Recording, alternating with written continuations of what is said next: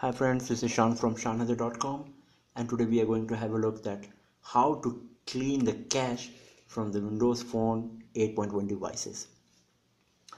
One of the best thing about any smartphone is that we can do multiple tasks at the very same time. But sometimes we just forget to stop or close a task particularly. So what happened in that case? For example, I'm opening the store here and going back.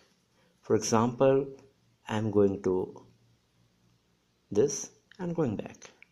Or I'm just opening anything the photo gallery and going back. So I'm not closing any of these application properly. What I'm doing I'm just opening it and I'm just tapping on the Windows logo and I'm going back to the home screen so what's happening? All these applications are not closed actually and running in the background. So after some time you may feel a bit like because all these programs are running in the background and taking your resources.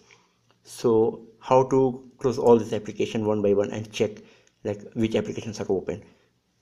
Actually this method is very easy. All you need to do is just press and hold the back key for a while and you will see a list of all the applications which are running in the background. See these were the applications which we just opened and didn't close properly.